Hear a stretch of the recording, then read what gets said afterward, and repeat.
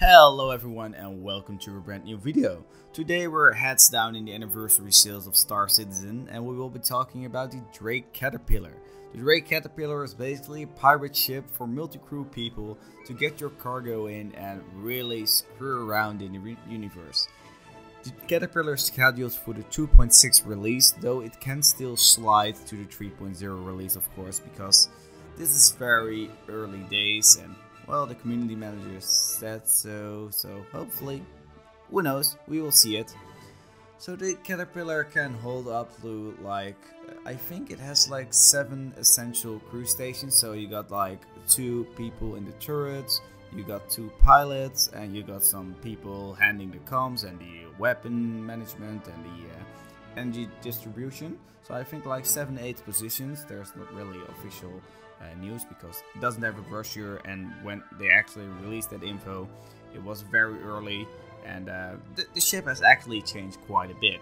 I mean the ship now is a lot larger it's actually 50% bigger than the retaliator and the constellation 50% longer not necessarily bigger but longer at least and it's actually even longer than the starfarer. So it's quite a long ship and that's actually to do with the modular design of the uh, ship because all those compartments you see in the front right there, they are interchangeable. So you can uh, say, okay, I'm going on a cargo mission, then you switch all those modulars in for cargo units, and you can get a lot of cargo in. Or you say, oh, I'm on a going on a boarding mission, for example. You make sure that there's enough life support and enough space for guns and uh, perhaps a little cargo as well if you go on a good boarding mission. And of course, if you're on a boarding mission, there will be casualties, so you can even get a medic bay in, for example. Though all the modules are not uh, specified yet, so we have to see about what happens in the future. But I think if the if it will be released, we will see all the modules, and I think it will be a very versatile ship, which can fit any need, unless you're going for exploration or for data scanning or whatever. It's probably not fit for that but it will mostly be fit for combat focus, like most Drake interplanetary ships are pretty much all uh, a little bit capable of combat, like the um, the Cutlass, the Dragonfly, and uh, the Caterpillar, except the Herald, which is basically a data runner.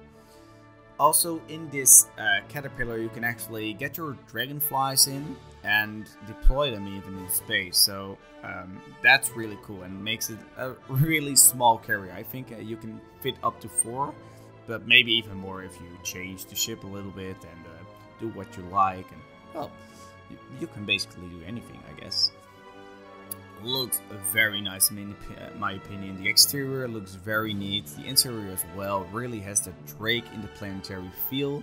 And I think they actually made the um, design very good and very on par with the other stuff. Very good materials. And uh, the design document which they use for Drake is really nicely applied right here. And I think we see a lot of Drakes in the future. I mean, we have seen the Herald in 2.6. Uh, the Cutlass will come out uh, soon. I think it's in uh, 3.0 or 3.1. And I can't wait myself for the Cutlass as well. But this looks really neat, and I'm very happy to see it in the universe pretty soon. And if it comes in the universe, I of course make another video about the interior, uh, about what it is like to fly Caterpillar, and uh, well, just to give you a little bit of an impression.